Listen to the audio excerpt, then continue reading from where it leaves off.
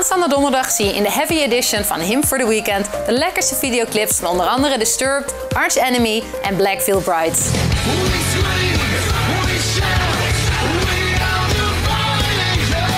Verder zie je ook clips van onder meer Baby Metal, Nightwish en Within Temptation.